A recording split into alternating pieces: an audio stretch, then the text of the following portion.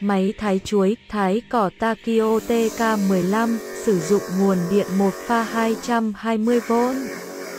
Với công suất động cơ 1.5 kW, tốc độ động cơ 2900 vòng 1 phút. Máy phù hợp cho các hộ chăn nuôi nhỏ về bò, dê cừu. Dao máy được rèn bằng thép nhíp ô tô. Với khung máy hình chân trụ vuông, bằng sắt vê hàn chắc chắn giảm rung lắc khi sử dụng. Máy được bảo hành theo chính sách công ty 18 tháng về máy và 12 tháng về motor một đổi một nếu lỗi do nhà sản xuất. Máy có thể thái các loại cỏ voi, chuối, rau, bèo, phù hợp với nhiều nhu cầu của chủ chăn nuôi.